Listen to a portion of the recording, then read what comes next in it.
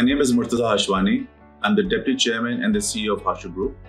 Hashoo Group is a Pakistani conglomerate which has businesses ranging from hotels to oil and gas to real estate to mining and information technology. I welcome you to Dubai into the future, the Pakistan Real Estate Edition. Why I feel that Dubai is the right place to invest in from a real estate perspective. One, Dubai has no taxes. Uh, there is no capital gain tax, which I think for any investor makes it very easy and convenient. Uh, and um, from a price point of view, very easy to invest in.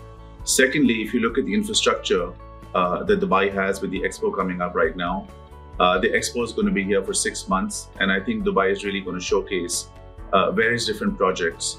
Um, if you look at some of the world's best buildings and infrastructure in terms of uh, Burj Arab, the Burj Khalifa, the Dubai Mall, uh, and there's so many more um, in the pipeline, uh, which I think um, makes it attractive for any investor to come in. Thirdly, when you look at Dubai um, as an in- investor's um, uh, platform, the price of construction is still very cheap. So when you compare the Dubai real estate to Europe or to America, it is still much cheaper to buy real estate uh, in this market. Fourthly, when you look at your rental yields, I think Dubai still has uh, a good minimum 8 to 14% rental yields, which I think in any developed market you will not get.